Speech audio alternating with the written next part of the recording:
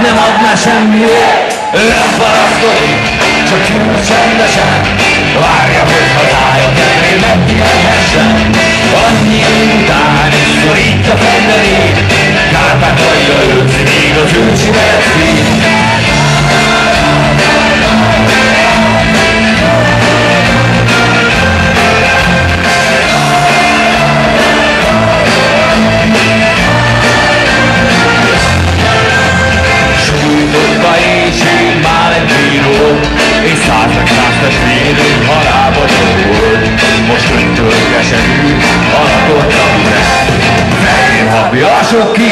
Magába temette Nem panaszkodik, csak ül csendesen